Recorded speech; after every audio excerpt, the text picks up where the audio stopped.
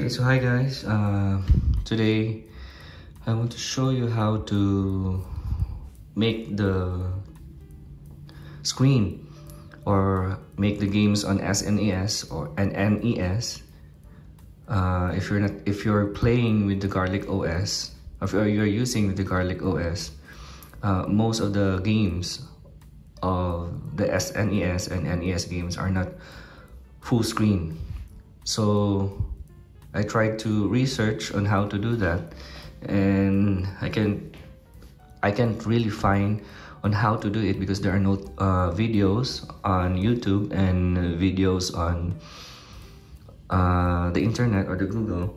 So I tried to tweak on my RG35XX so I this is my first retro console and I want to share with you on how to full fully screen the games on the SNES and NES games.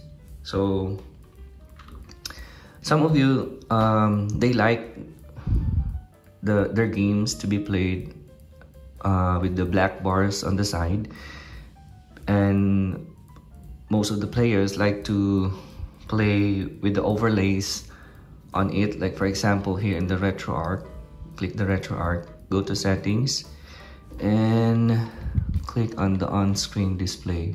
So here you can see that I have no um, overlays. Overlays are like that when you can see when you're playing SNES and NES games that there are overlays on the side that you can see that it's Capcom, that it's SNES that you are using, or some other overlay overlays that you can find uh, on the internet or especially on the RG35XX website. You can download the overlays there so that when you play games you can have uh, that overlays on the side on each side of your game for the SNES and NES and for the Game Boy Advance so me I deleted it all because I don't like it. Um, I delete all the overlays from uh, my RetroArch so here you can see that there are no overlays. So for those who don't want to use overlays and for those who want to play SNES and NES games they want their screen to uh, they want the games to be fully screened. So I want to show you how to do it. So for example in Teenage Mutant Ninja Turtles. So here you can see that there are black bars here. So if you have your overlays uh, you can find here the SNES if you want to play like this it's okay because I think this is the right thing to play on this game because SNES, NES, and Game Boy Advance they want uh, the perfect uh, video. Not too stretched not too pixelated. So that that's why they're uh, they have these black bars on the side. But if you want I want to show you click the menu. Go to click again let uh, the B button. Go to settings and go to video and go to scaling. Here the integer scale and the keep aspect ratio. Let's turn it off turn it off then click push or click the B button again, again, again, and go to quick menu and go back to this one.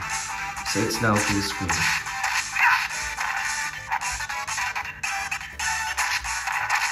Same as let's go to the NES. Click Contra. Here, you can see that there are black bars on each side of the game. Again, if you want to make it full screen, click again the menu, same with the X button. Uh, push the B button, then go to settings, go to video, go to scaling and turn it off.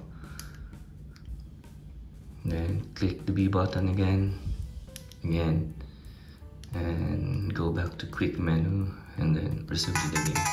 So it's now full screen. So same as Game Boy Advance, Game Boy Color, and here. For Game Boy Advance, here. But I like to play with my game, game Boy Advance, all the games in Game Boy Advance. I want to keep this kind of ratio for this game. Because it's not too pixelated, it's fun to play the game because each side it's they don't they don't have black bars only on the top and the bottom. But it's not annoying to see in the game. So but if you want to again to make it full screen click again uh, settings video scaling. The integer gets turned off already and the keep aspect ratio turn it off. Go back to quick menu it's full screen